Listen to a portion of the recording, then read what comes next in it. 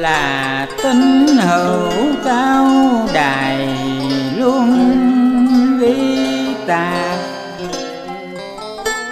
đức tôn sư hộ pháp đã dài công truyền đạo trời ra khắp cả tây đông. Xây đạo nghiệp tại nơi dùng thánh địa Ngày mùng năm tháng năm, canh dần là ngày Giáng sinh của Đức Tôn Sư Hộ Pháp. Ngài sinh ra trong một gia đình lễ giáo nhỏ phong đạo đức ơn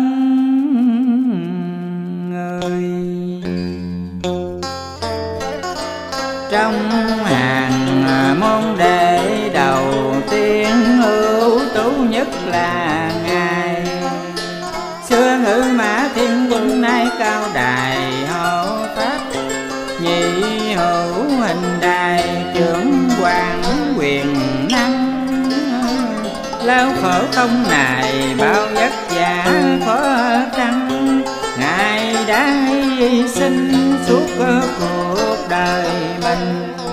Để lèo lái con thuyền, đại đạo được êm trôi lướt từ từ khỏi cơn sóng gió.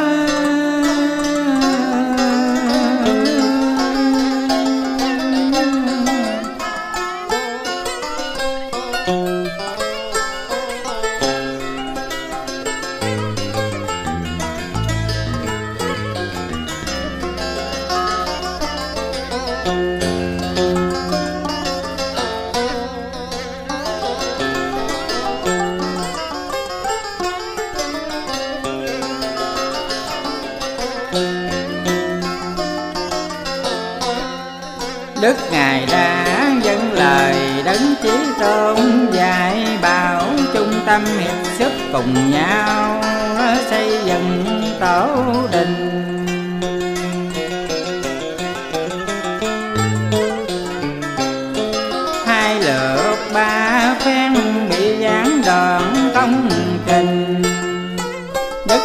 Tiếp tục dựng xây đã gần sông ngôi Đền Thánh quân Pháp bắt Ngài lưu đài. Nơi hải đảo Ma Đa rất Ca.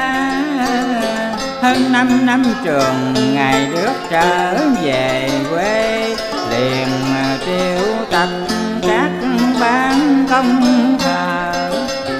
Suốt ngày lại đêm đắp tô sơn mong cho đến ngày đền à, thánh được xây xong.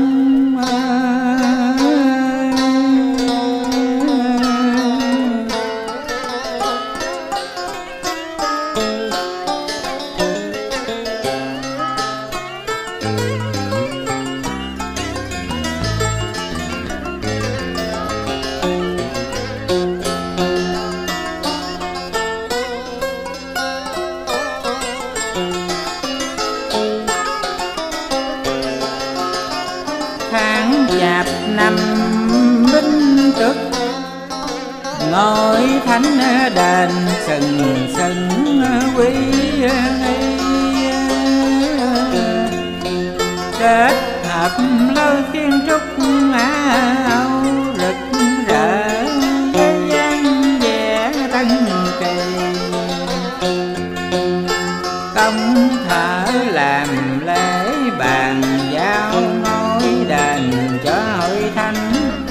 hộ pháp ban phép trấn thành ngày mùng sáu tháng giêng. Sáng mùng tam lễ rước quả càng không, nơi báo ân từ về thánh đền an gì ngày dạy các nghi thức trên mặt hầm bắt quái Kịp ngày với Đức Chí Tôn để khai lễ đại đàn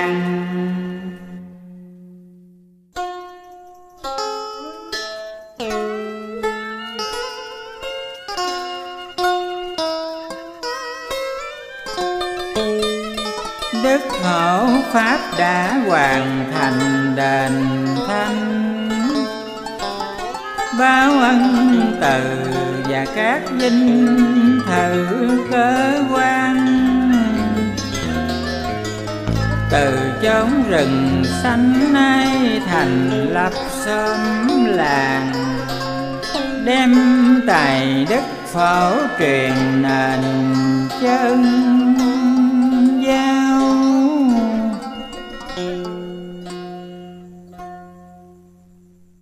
Ngài quá quyết ngày sau nhân sanh quy về đóng đau. Nên chợ Long qua được Ngài kiến tạo Và mở mang dùng thánh địa trang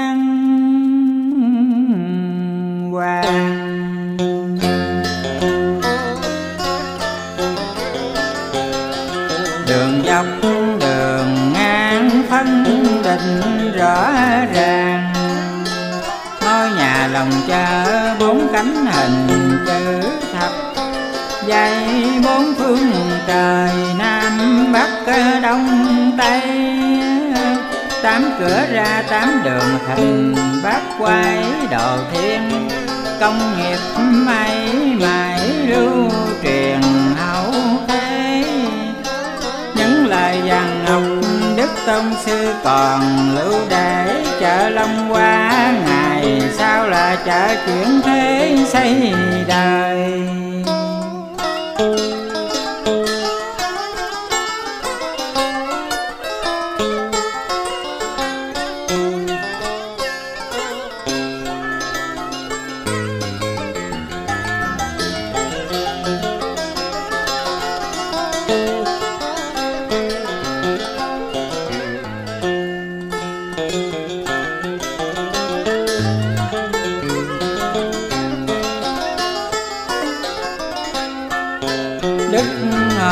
pháp.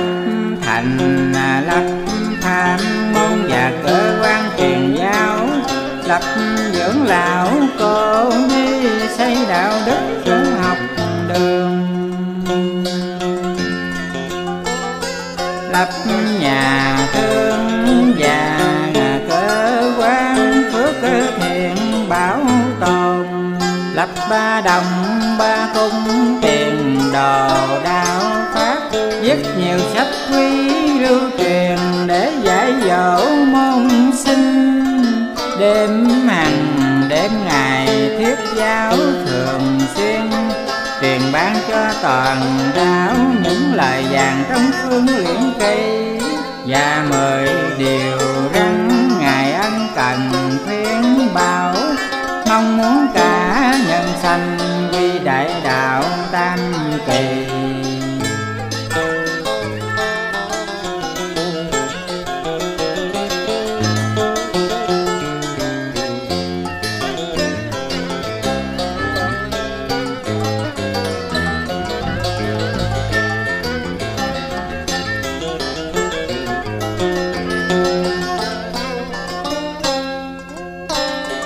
bảo cao đài bí chánh quyền ngô đàn áp, chúng con ép buộc môn đồ phải bỏ đạo phản sư vì lo sợ cho môn sinh sẽ vi phạm luật thiên điều nên ngày đành nén lòng.